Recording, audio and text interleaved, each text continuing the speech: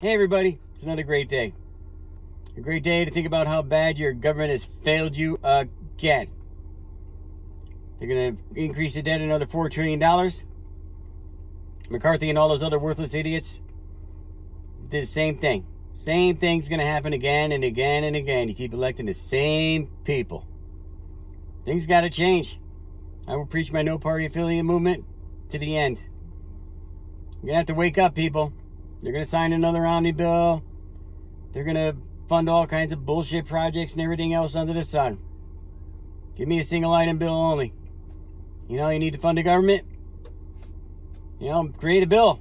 Fund the government. Pay our people who are working for us. I don't need to sit, have them sitting there bargaining between each other on, on how to spend my money that they don't even have. You know, this shit's got to end. You just can't keep doing this. It's time to wake up, people. It's time to wake up. Well, I hope you all have a great day. Subscribe to my YouTube channel, Triple G Toolbox Talk, for more wide variety and interesting content.